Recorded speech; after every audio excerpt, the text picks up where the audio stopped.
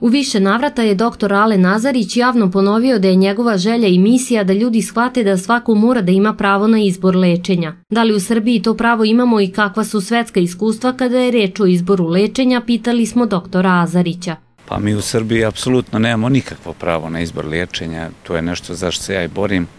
Ovaj, mi, smo, mi smo pod jednim, e, nažalost, sistemom farmaceutske mafije i to je problematika današnjice ne samo kod nas, nego širom svijeta. To je jedan sistem koji je, ajde da kažem, bilijarderski sistem koji beskurpulozno gleda na ljude kao na predmete i stvari i nemamo naš izbor i sve više i više će biti problema ovaj što se tiče zato što se ljudima otvara svijest napokon i ljudi jednostavno umiru na svakom ćošku umiru sve više i više, a konvencionalna medicina nema apsolutno nikakav odgovor, čak naprotiv sve se više bogate, a ljudi sve više umiru.